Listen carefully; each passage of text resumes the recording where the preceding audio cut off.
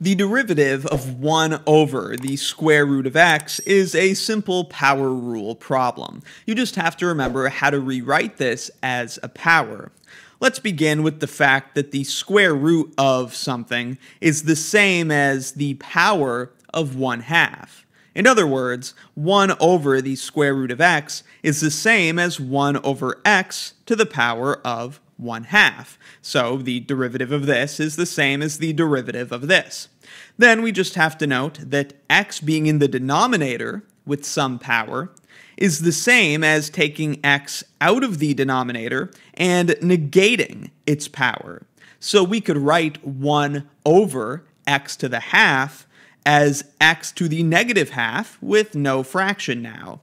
At this point, it's obvious how to apply the power rule. Here is the power rule, in case you forgot. To take this derivative, we'll just need to multiply by the power. The power is negative 1 half, so we have negative 1 half and then just reduce the power by 1. It's a negative fraction, but the power rule works out exactly the same way. The current power is negative 1 half, we have to subtract 1 from that, or subtract 2 halves.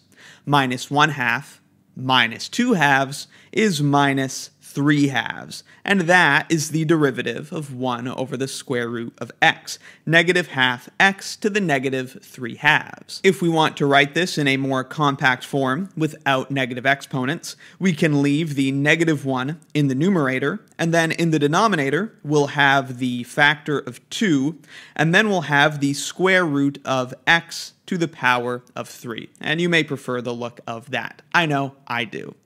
Let me know in the comments if you have any questions, and be sure to check out my Calculus 1 course and Calculus 1 exercises playlists in the description for more. Thanks for watching.